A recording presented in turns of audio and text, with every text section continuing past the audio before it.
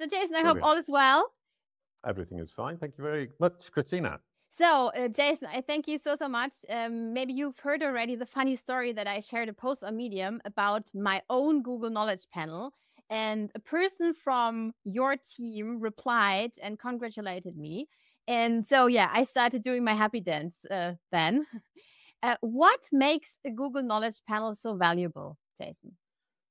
A Google Knowledge panel is primarily valuable to us as human beings because it shows our authority and our credibility within our field. When somebody searches your name and they see a Google Knowledge panel, they, well, the person will tend to think, well, that person is authoritative and credible. So we at Kalicube say your Google Knowledge Panel is your business card.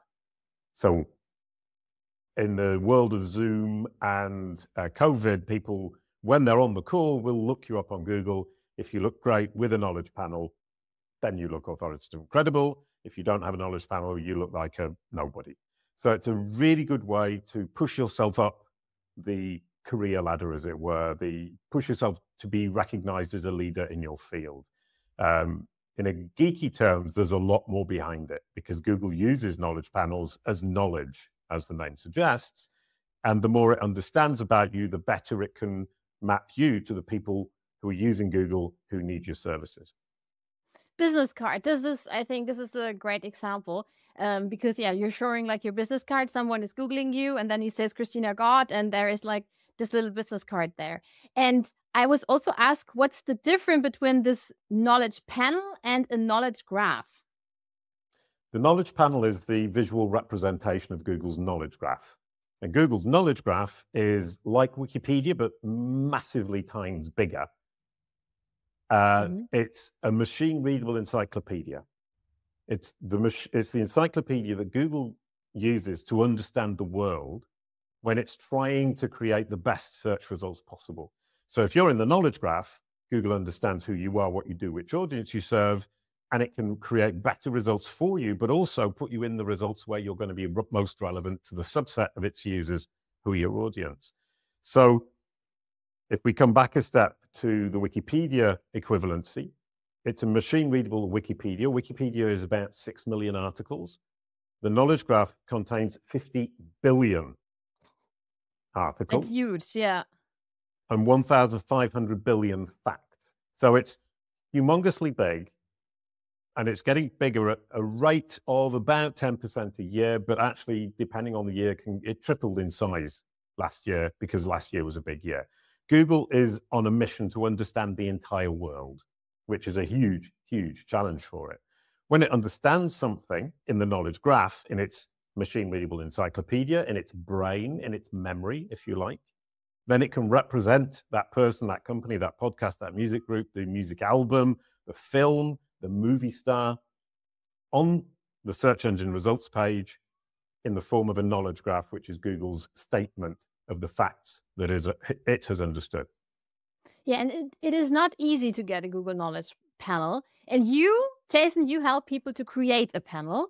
Uh, could you tell us a bit more about your expertise and who you are, Jason? Yeah, my name is Jason Barnard. I founded Kalicube, K A L I C U B E, uh, in 2015 to specialize in building knowledge panels, building understanding in Google's brain. And my revelation was that Google is actually a child, mm-hmm. thirsty for knowledge, who wants to understand the whole world. And our responsibility is to educate the child and if we educate the child, the child will understand, it will add us to its knowledge graph. And when it adds it to its knowledge graph, it can then create a knowledge panel for us. So it's kind of easy and difficult at the same time to create a knowledge panel. The process is very simple, but the maintenance of it and the human effort it takes to educate Google is actually quite a lot. I see. And I loved that you say that Google is like a child and um, I know that, or I, I, read about it, that there are like Google knowledge algorithms responsible for curating information for this knowledge panel. Could you, Jason, tell us a bit more about how this or these uh, this algorithm works and whether we need to track the update similar to Google's core update or the helpful content update then? Yeah, well, first with the updates, yes, it's good to track them because then you know if something has changed, whether it's your fault or there's been an algorithm update. However, the knowledge graph updates do not correspond to core updates, such as the helpful content update. It's two very separate things because it's two very yeah. different machines. And Kalicube is the only company in the world who is tracking knowledge graph updates. We have eight years of data about it. We know exactly when it updates. You can expect a huge update every July and every December, and sometimes in March. And in fact, in January this year, it's been another huge month. So if you want to know about knowledge graph updates, you have to come to Kalicube, K-A-L-I-C-U-B-E once again. And what's been really interesting is because I am the only person who's been doing this, I'm the person who understands exactly how Google thinks. And how Google thinks is how we can then learn to teach it. And the you talked about the three knowledge algorithms. People don't talk about the knowledge algorithms. They talk about the core updates and the core algorithms and the blue link algorithms and maybe even the video algorithms if they're getting adventurous. But the knowledge algorithms are really special and they're fundamental to the future. If you think about generative AI in search, i.e., machines making uh, learning for themselves, this is what it's all about. So the future of search and the future indeed on all of these platforms, Apple, Facebook, Bing, Microsoft, Google, is all about how do we educate these smart machines because they're going to get smarter and smarter and smarter, and we need to educate them starting today. And we educate them by understanding the knowledge algorithms, how they function, and then what we need to do. So you can actually forget about the knowledge algorithms because I've figured it all out and I can just tell you what to do. So we'll start with the knowledge algorithm and explain a really quick overview and then I can tell you exactly what you need to do. You have the knowledge extraction algorithm. There are three, by the way. Number one, the knowledge extraction algorithm, and that's the algorithm that extracts information from web pages and then puts it into a storage space in a manner that's well organized for the next algorithm, which is the knowledge vault algorithm. And the knowledge vault algorithm goes into the information that the knowledge extraction algorithm has found and put away in little, little drawers, in little filing cabinets for it. And it reads through and tries to understand what the facts are, not which is the best content, which it should put at the top of the rankings, top of the search engine results. It's trying to figure out what are the facts in all of this information that the knowledge extraction algorithm has provided for me. If it decides it's find, found a fact, it puts the fact in the knowledge graph and it becomes part of the machine readable encyclopedia, Google's memory, Google's brain. Mm-hmm. Then the knowledge panel algorithm comes along and it looks in the knowledge graph and it says which of this information is useful for me to show to the user who searched somebody's name or a company name or a topic. So if somebody searches Jason Barnard, it looks in the knowledge graph and it says, well, I can see these facts about Jason Barnard. The person is obviously looking for the specific Jason Barnard that I can see in the knowledge graph. I will show a knowledge panel. And then it fills the knowledge panel with the information that the knowledge graph has established to be fact from the information that the knowledge extraction algorithm have, has provided it. So that there's a three-step process in order to get mm-hmm. to that knowledge panel. Why do you think, Jason, that uh, Google thinks uh, that I, um, yeah, that my home, that my entity is YouTube? Right. We've kind of moved forwards to the next step, which is how do we educate okay. it? And mm-hmm. in fact, you're right. It's you need what we call an entity home. It's a place that the knowledge extraction algorithm, the knowledge graph algorithm, and the knowledge panel algorithm all recognize as the place that you live online. And what they've understood with you is that you live on YouTube. That's not good because YouTube doesn't belong to you. And if it does, you wouldn't be talking to me because you'd be super rich. you need them all to understand that the entity home, the place that you live online, where you represent yourself in the way you want to be represented, and you can explain to them and educate them, is your own personal website. So mine is jasonbarnard.com. Yeah. Kalicube's is kalicube.com. you need a, a personal website that you own because what you will then do is start to explain to the extraction algorithm, the knowledge vault algorithm, and the knowledge panel algorithm exactly who you are, what you do, who you serve, why you're credible, and which things you've done online. At that point, you can start to control what they understand. So, okay. key here is to make sure that you own the place that they think you live. Yeah. You need to control your personal brand, especially in a world of AI. These machines are getting smarter and smarter. Right now, they're pretty simplistic and they learn by repetition. In five years' time, they will be able to uh, infer information, at which point they'll be learning to learn and learning things about us that we haven't necessarily told them. At which point, if you don't have control of the basic facts, you're in big trouble.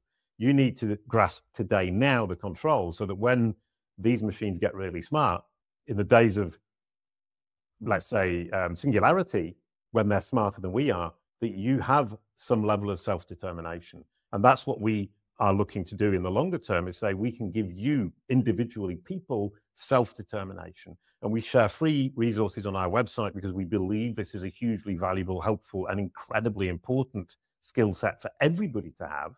And then obviously, 8 billion people on earth, we can't serve all of them out of those 8 billion, some people are going to realize that we will do it faster, we will do it quicker, and we will do it better than they would. And then they will come to us as clients. So we can afford to share the information. It's completely free.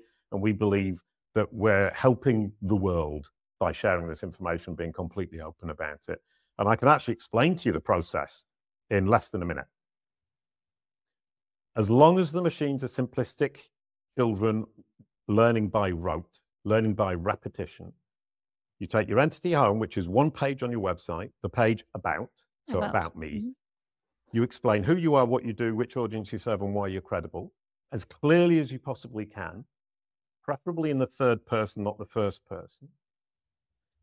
You then take that description or parts of the description or an adaptation of that description and you place it on every single source that you mentioned earlier on the social media profiles, your medium profile, an article about you, your YouTube channel, uh, profile pages on Muck Rack, all of these places. And you repeat the same information to the extent it's useful to the audience on that platform. Then you link from the entity home to the platform, and you link from the platform back to the entity home. Then what happens is Google sees your entity home, understands, goes out to the first source, sees the same thing, understands, comes back through the link that you put there, sees the same information, goes to the next source, sees the same information, comes back, and so on and so forth. And in a, an infinite loop of self corroboration, the machine will under, understand by pure repetition, and it will understand that the hub you mentioned is that about page on your owned website. So you need to be clear about who you are, what you do, which audience you serve, why you're credible. You need to be consistent about what you say across all the platforms, as you rightly said, for PR, that's super important but you need also to be present on the relevant platforms because if you're on irrelevant platforms, Google gets confused and you're wasting your efforts standing where an audience is looking when the audience isn't interested.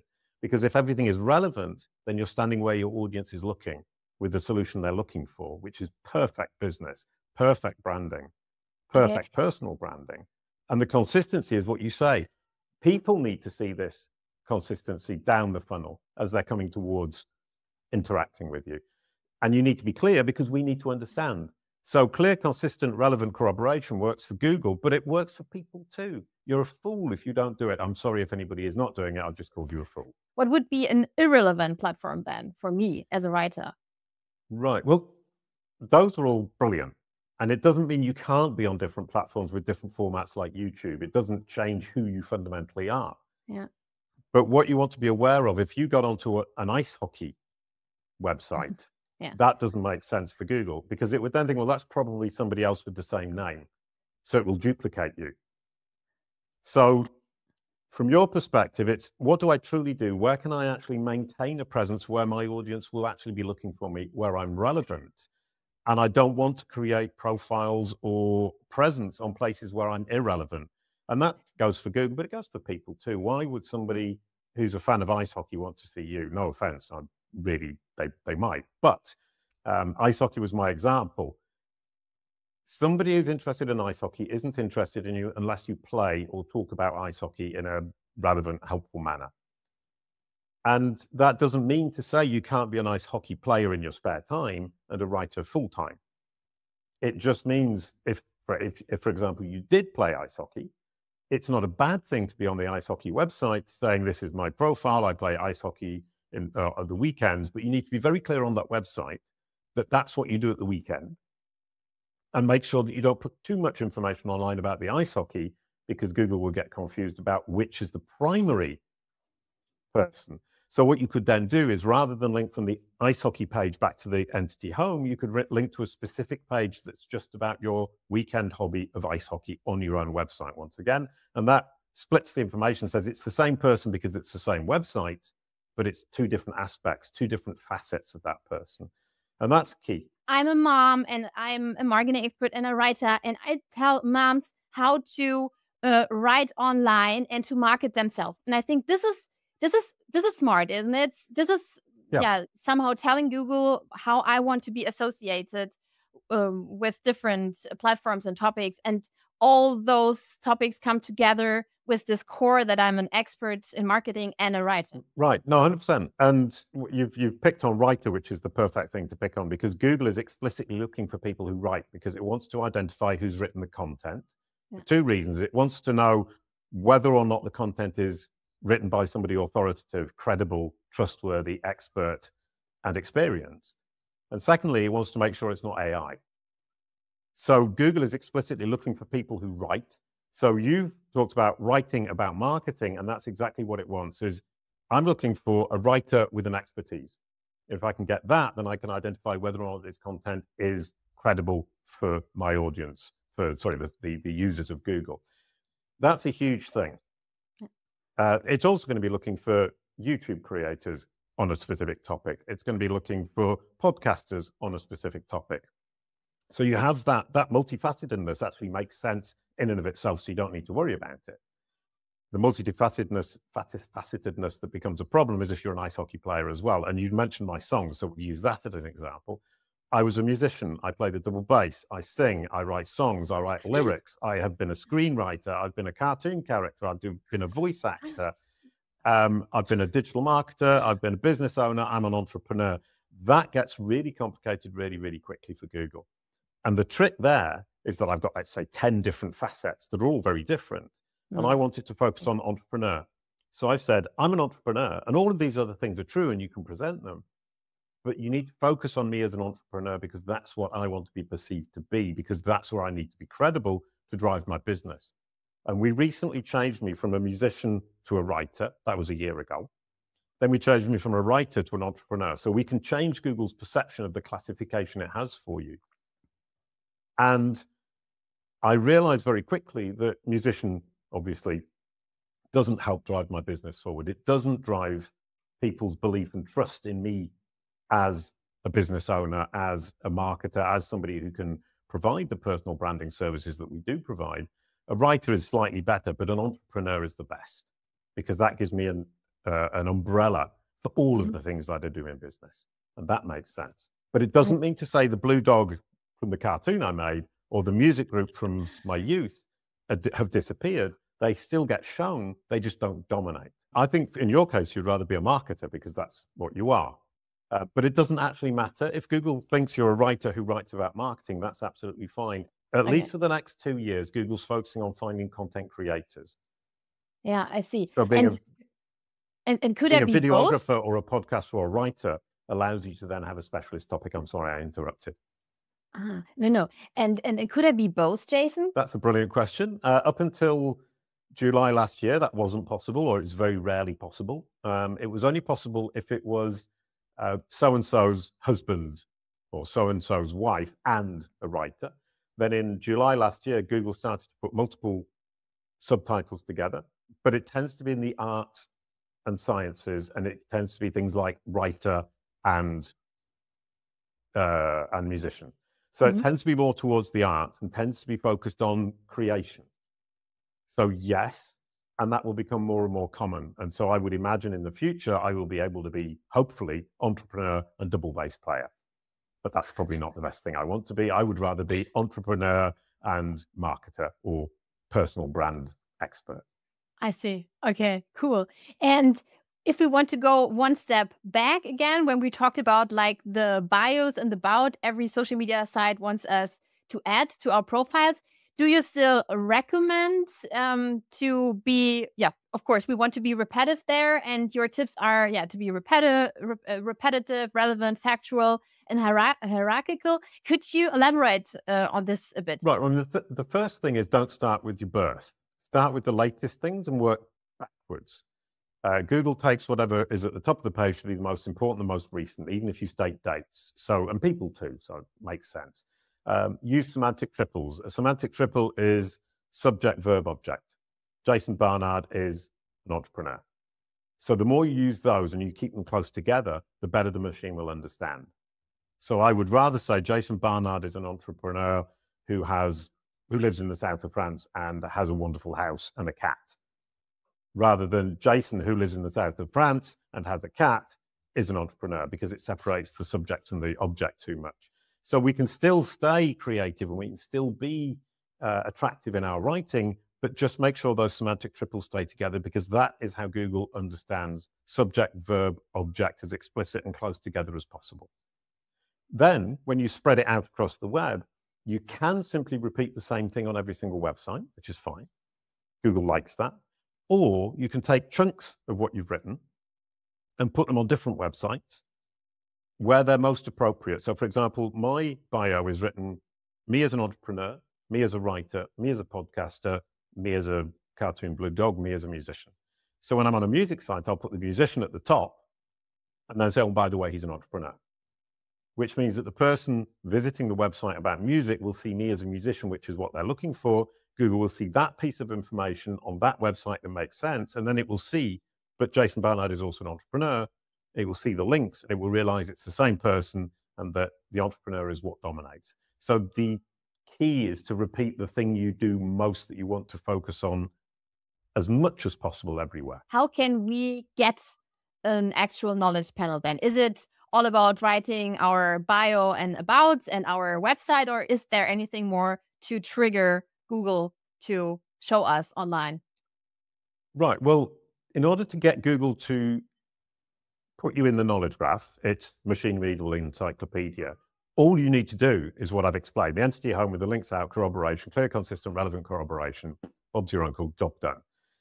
Um, and you will get a place in the knowledge graph as long as you are truly consistent, truly clear, and everything is truly relevant. Absolutely no problem.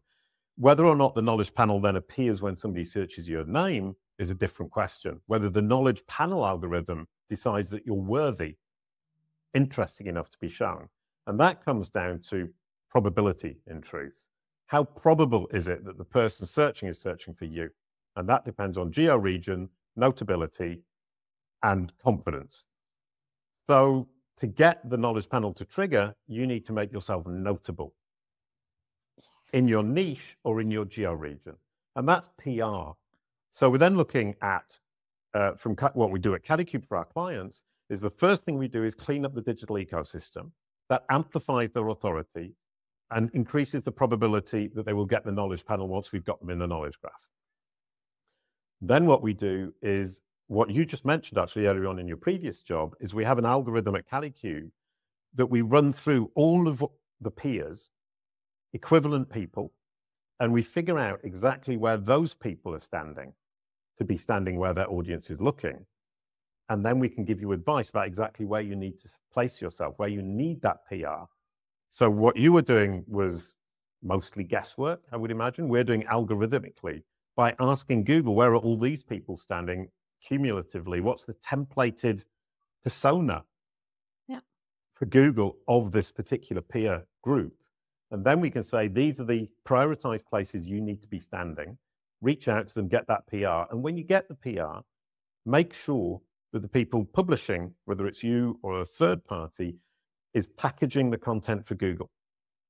Because when they put it online, they put it out there, the people see it, that's brilliant. We want to make sure that Google can see it, understand it, digest it, the knowledge extraction algorithm can do its job, pass the information to the knowledge graph algorithm, build its confidence in you and your credibility and your authority, which would then increase the probability that the knowledge panel would trigger on your name. And as you can see, we're back through those three steps. So I love this because, uh, Jason, you show us that we definitely have to be strategic. It's not about like doing some stuff online yeah. and then hoping for people to come to us. You have to be strategic about this from day one. And even if you haven't been to until watching this video, you now definitely have to start. Okay. You're saying you need to be strategic, you need to be intentional.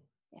And uh, as you said, think about your audience. But what we have at Kalicube and why our work is so powerful is because we have algorithms that work through the billion data points we have in our database, all taken from Google. So we take Google's data and we store it and then we rework it to figure out the intentional strategic places you need to stand. No guesswork.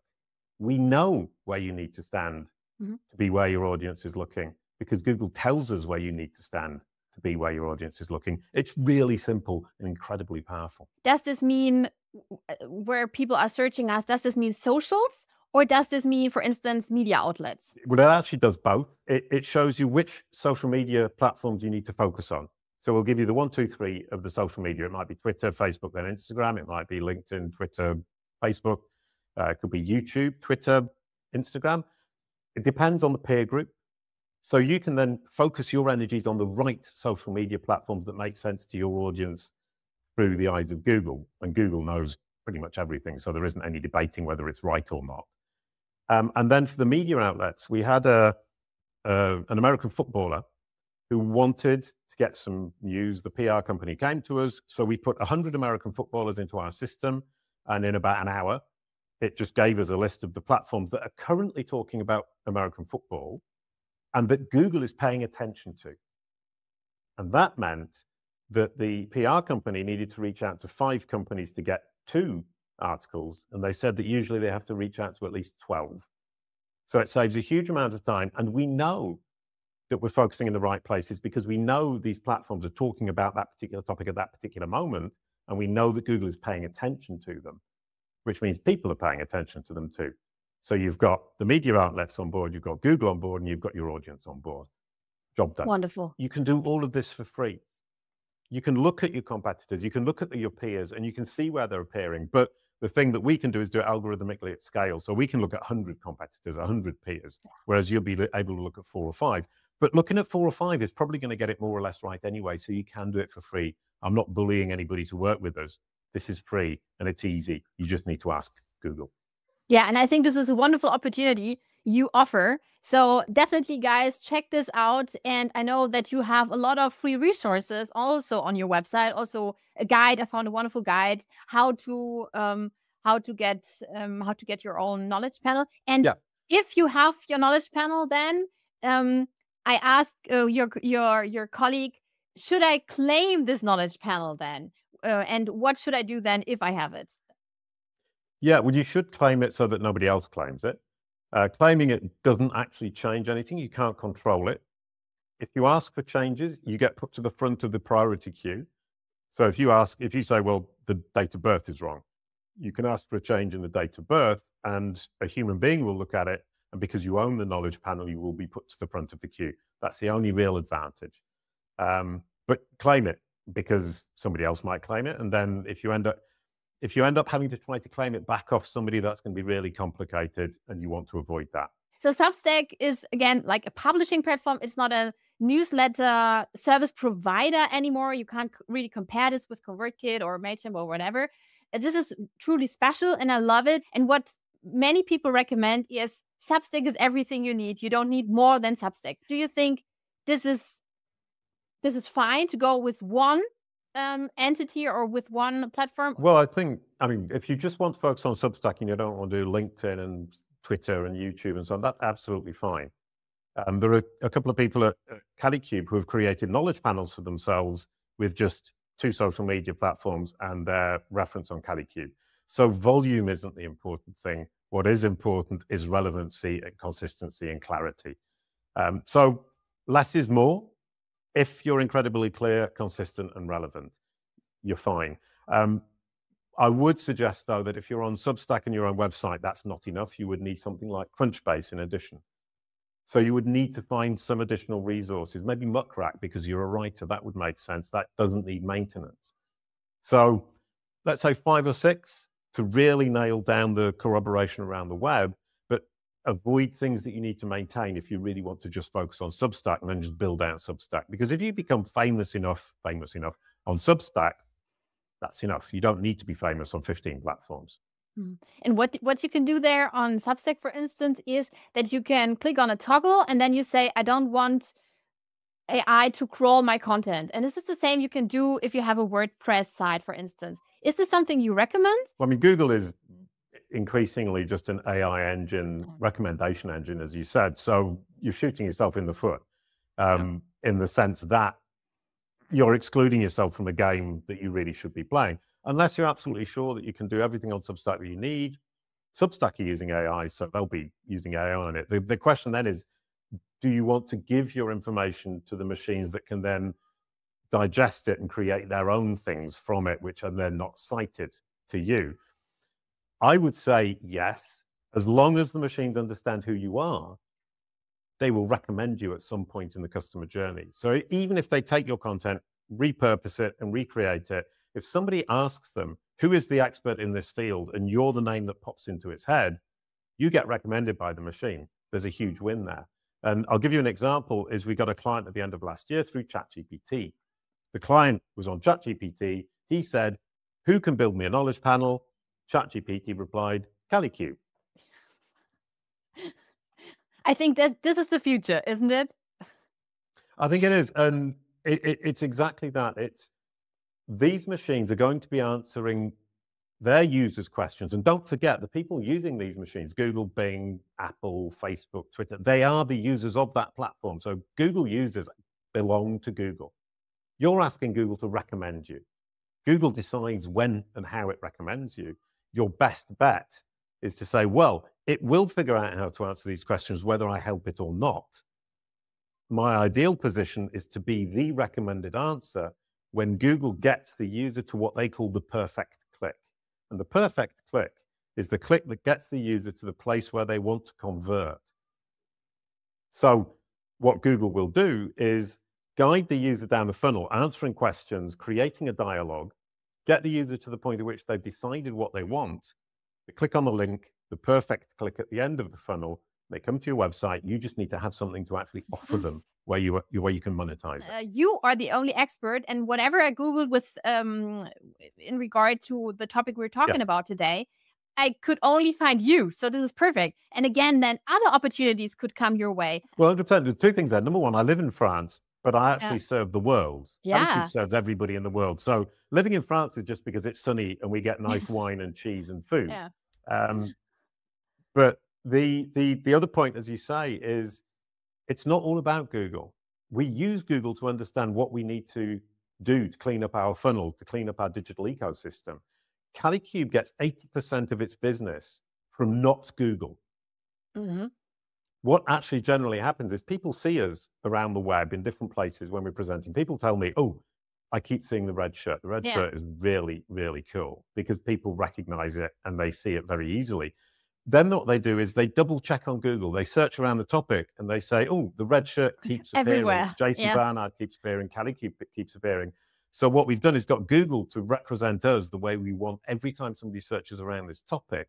But that's simply confirmation that we are the authority, the trusted, credible, expert, experienced source that people think we are from the rest of our digital ecosystem. So it's actually very traditional marketing backed up by Google's recommendation of Kalicube and Jason Barnard. Would you then recommend to have like one brand color and then stick stick to it? I'd use the red shirt um, for historical reasons from my musical career. Uh-huh. Um, it's worked really well for me. I I would think that every time you appear, if you're wearing the same clothes, people will recognize you instantly at a glance because if I change my shirt, people don't necessarily recognize me. But I don't say that's the best strategy for everybody. There might be something else. Some somebody I met once was wearing green glasses. Mm. So he wears anything he wants and he just has these green, very visible green glasses. That works too. the visual aspect is something that people underestimate. I mean, uh, an image is tells more than a thousand words or whatever the, the phrase is. We're very visual creatures. Uh, Bing and Google are quite visual creatures too. Bing and Google are now audio creatures. So text, visual, audio, and videos obviously included in audio and uh, text. I'm sorry, visual and sometimes text if you put it on the screen. We need to make sure we're feeding all 3 mm-hmm. to the machines and to our audience. So unless you're purely a writer, just text isn't going to hack it for the for the next 15, 20 years. Um, but even if you're just doing that some kind of visual identity is going to be necessary, and how you handle that is up to you. I would say be on screen, be visible, have great photos, be on videos, talk about what you're you're doing, um, because humans need to see us in order to trust us. Do you think we should go with video, written words, and audio then? Yeah, I mean, you can consider that a video is also audio. Uh, Mm. Google will analyze it, and especially as YouTube generates subtitles, captions, but be very careful, it gets the captions wrong. So it's a really good idea to go and correct them manually. And I'll give you a quick example. My name, Jason Barnard, J A S O N B A R N A R D. Some people say it, it sounds like B E R N A R D, Bernard. And Yeah. Google confuses me with Jason Bernard. I see. And part of that, at least, is because of the way people say my name. So we have to go into every single video that people create with me or I create with Kalicube and correct the YouTube transcript. So we don't just correct my name, we correct the whole lot. And YouTube tags the captions as being human corrected. So Google, when it reads them, will understand that we've explicitly gone in and made sure that it does actually represent what's being said and therefore is more confident. So if we come back one last huge point, we were talking about knowledge panels, knowledge graph, um, and the knowledge extraction algorithm. Understanding is one thing. The knowledge extraction algorithm gets the facts. The knowledge, sorry, the knowledge extraction algorithm gets the information. The knowledge vault algorithm establishes the facts. And the knowledge panel algorithm assesses whether or not the notability and authority is there for it to show. But all three need confidence. If you can get the knowledge extraction algorithm to extract and store the information with confidence, it will note down on each piece of information, I am super confident this is what this, this information is. The knowledge vault algorithm will have a better um, appreciation of the confidence of the information. It will therefore judge it more positively.